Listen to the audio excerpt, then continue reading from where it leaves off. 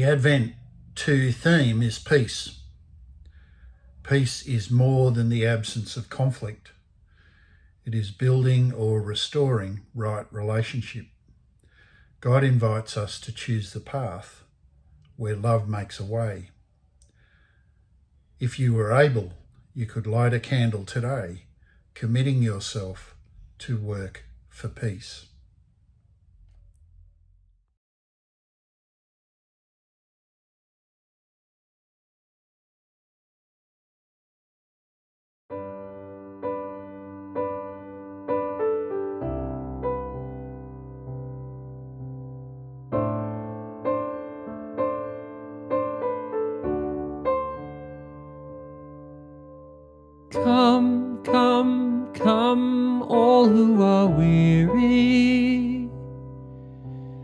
Come, come, come, you heavy laden.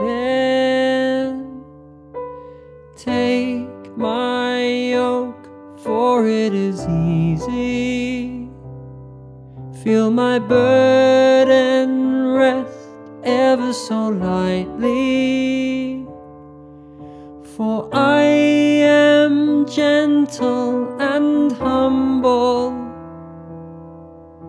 And you will find rest for your souls.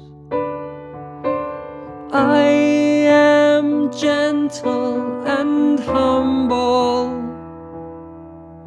and you will find rest for your souls. Come, come, come, all who are weary. Come, come, come, you heavy laden. Take my yoke, for it is easy,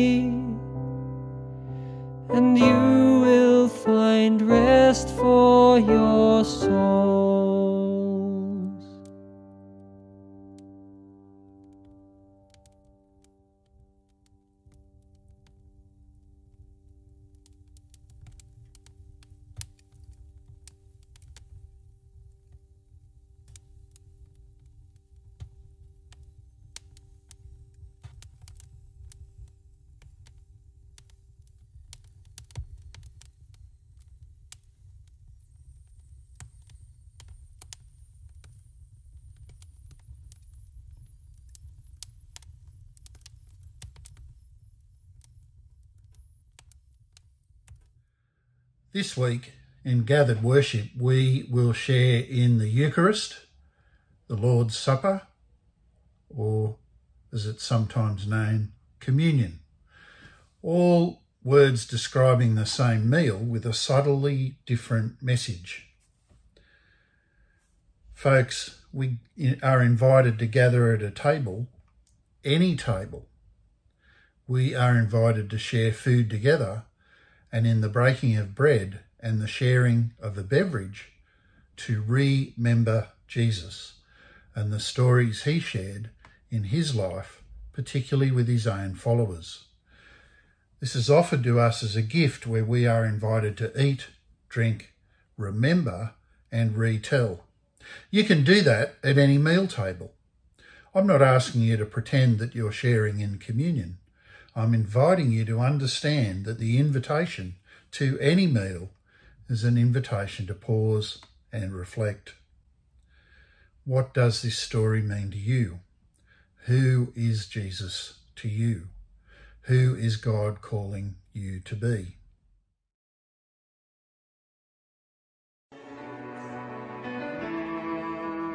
I've heard your.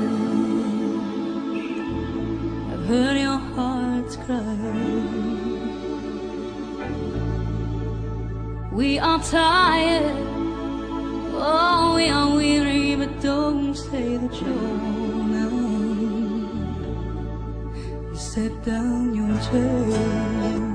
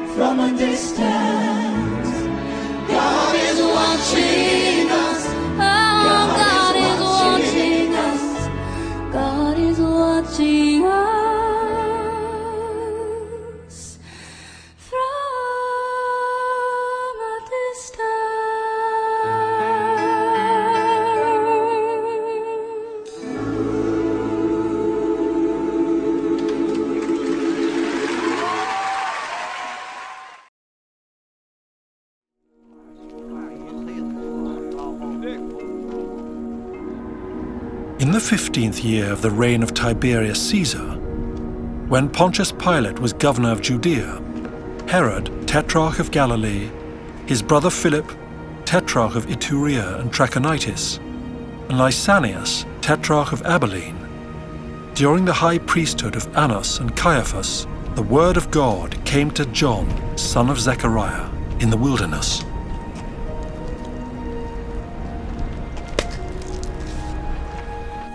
He went into all the country around the Jordan, preaching a baptism of repentance for the forgiveness of sins, as it is written in the book of the words of Isaiah the prophet. A voice of one calling in the wilderness, Prepare the way for the Lord, make straight paths for him. Every valley shall be filled in, every mountain and hill made low. The crooked roads shall become straight, the rough ways smooth, and all people will see God's salvation.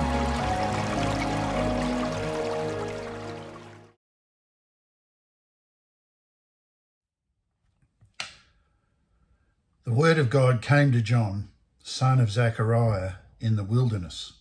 He went into all the region around Jordan, proclaiming a baptism of repentance for the forgiveness of sins.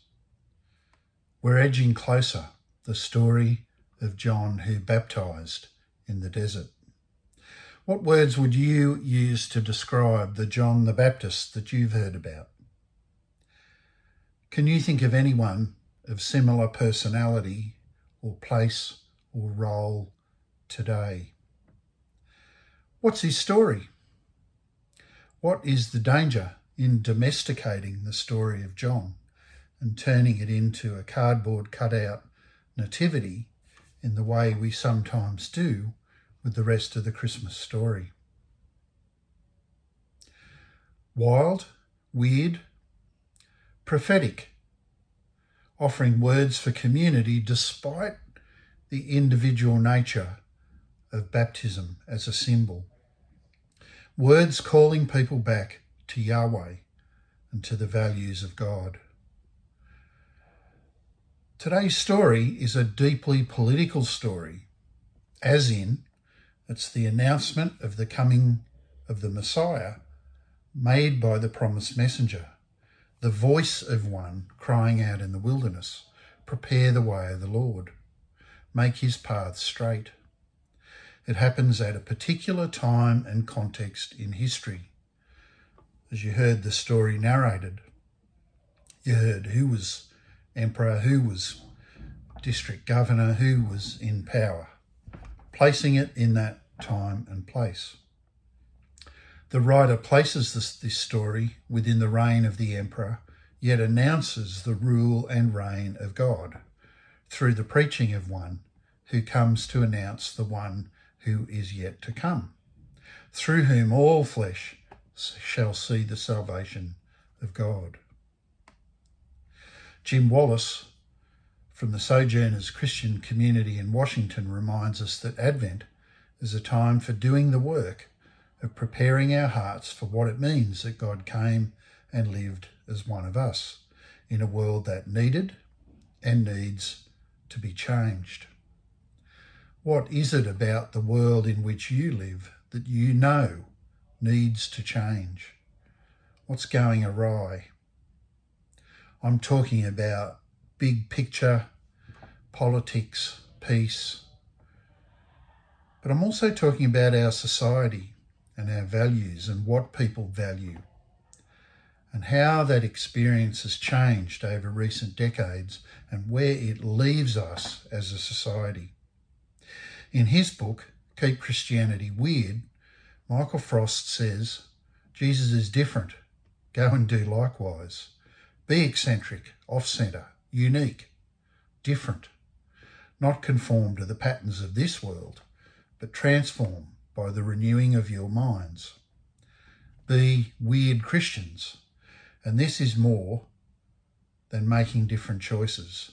It's more than making others feel less worthy. It's more than a religious discrimination bill.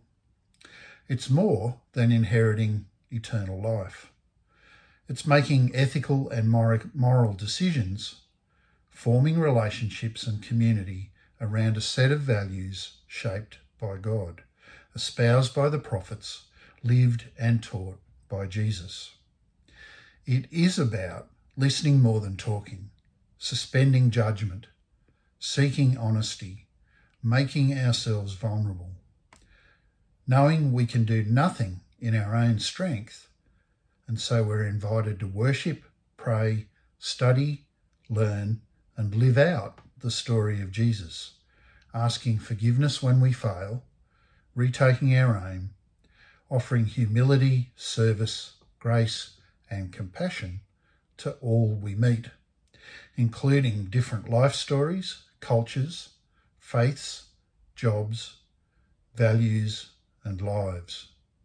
Spend time this week asking God to give you love to share with others. Love our neighbour, remembering that our neighbour is anyone who is different to us.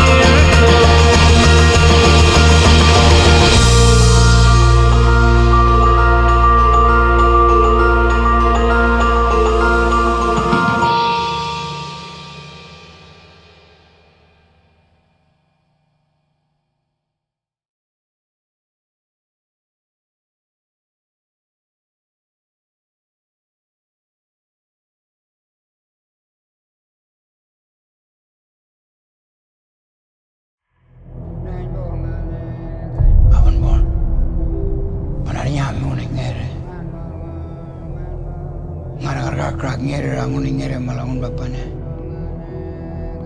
I will be walking around there, my spirit.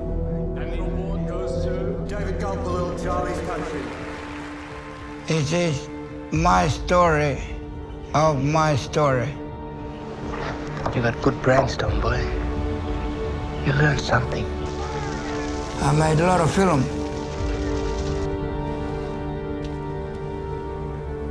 And I remember all the famous people. And then I would go and sit down in the Her Majesty's table. Small fella and black fella. I am sick, mate. It's cancer. Too much tobacco. I've been smoking. And when I would start cutting that meat, I would cut him, cut him, because I'm real hard, real hard. I would cut him that plate with moving toward Her Majesty. My spirit will return back to my country. I will miss my children. And I think of them, and I love them.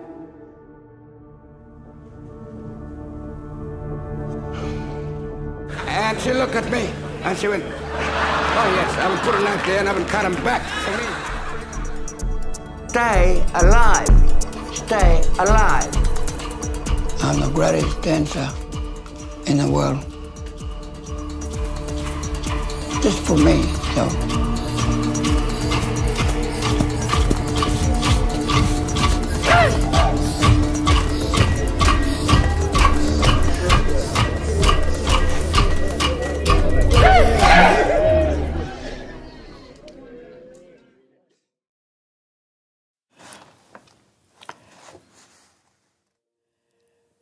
Lift up your hearts.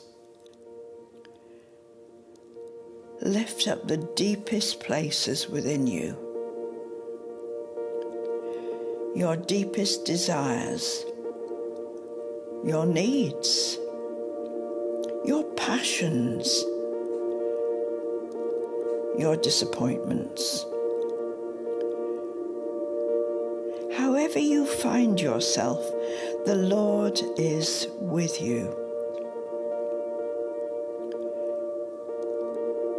The Lord is with you.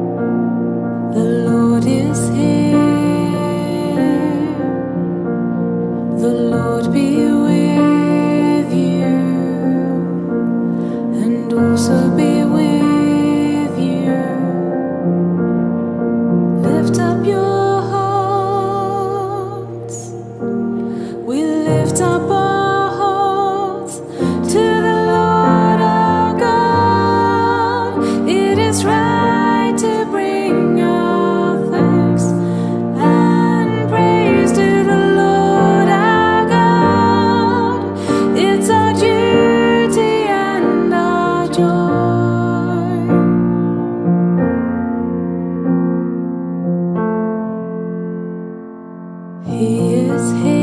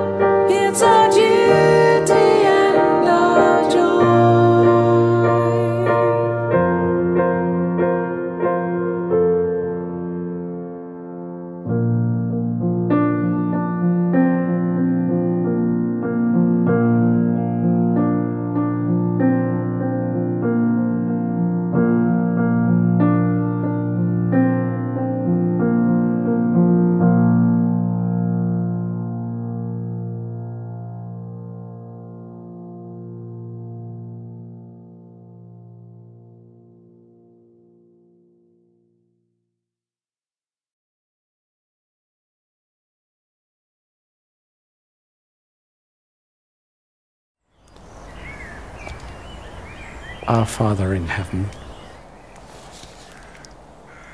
hallowed be your name. Thy kingdom come. Thine will be done, on earth as it is in heaven. Give us this day our daily bread. Forgive us our trespasses, as we forgive those who sin against us. And lead us not into temptation. Deliver us from evil. For thine is the kingdom, and power and glory, forever